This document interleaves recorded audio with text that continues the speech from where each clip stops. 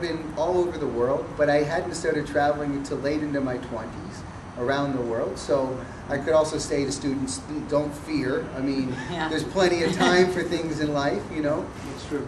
But, but I also feel like it's really important to understand the, um, that when you go to another country, the very first thing, especially when there's other languages, is how humbling it is.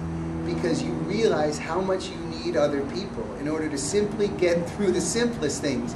Find a bathroom, get on the airplane, buy food, sleep at night.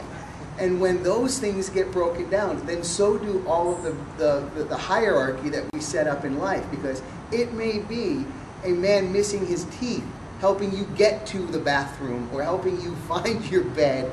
Suddenly, all the things that divide us actually unite us.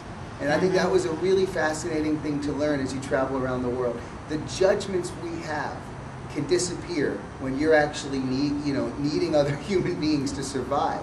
So it's a good challenge. You'll go out in other parts of the world and you'll have exciting adventures, but you'll also have a lot of humbling moments that make you reconsider how you look at those people around you.